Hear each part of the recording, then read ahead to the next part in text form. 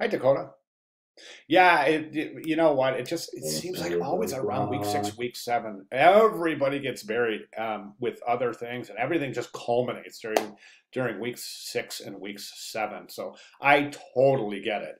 Um, so yeah, let's get to rest of your sketches, and I think there's enough here though that I can I can definitely provide some direction for you, Dakota. So let's go ahead and take a look at the in, uh, the information. Uh, your information has been great since your first submission, so I think this is really fantastic. And I think this is even more effective because you're you're um, uh, you're describing targets and you're really you're giving a, a, a high degree of intent here. So I think this is fantastic. Good job. Now let's go ahead and jump to the sketch that you did provide. So um, th- there's three um, sorry required for Sunday. So of course you know that, right? So I just want to reiterate that. Um, I love this approach, putting it on a receipt. I, I think it's really super interesting.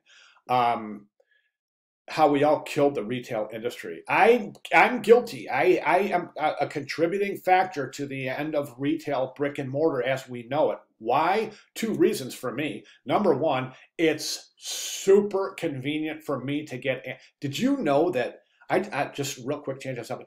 I just found out that I believe over sixty eight percent of Amazon users are Prime users, and then the the the number of the percentage of people of households uh, uh, across the United States that use Amazon is astronomical, and it's really really mind-boggling how many people are now using.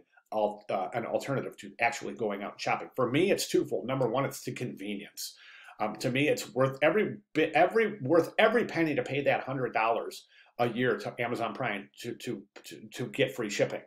Um, I think the amount that we and that my household uses far exceeds the hundred dollars for shipping if we were to pay shipping for every delivery we get. Now, the other reason that we use Amazon um, at our house for delivery is because it actually a lot of people say, "Whoa, it ruins the carbon footprint." It does not.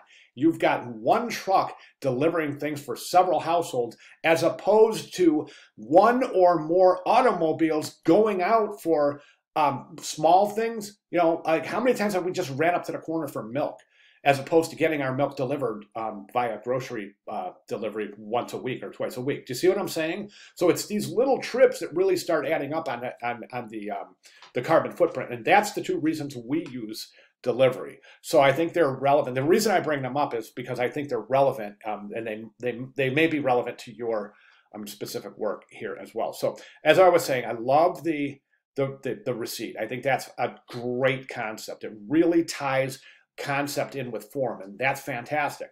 Um, I think you're underdeveloped here. I think that we need a lot more infographics.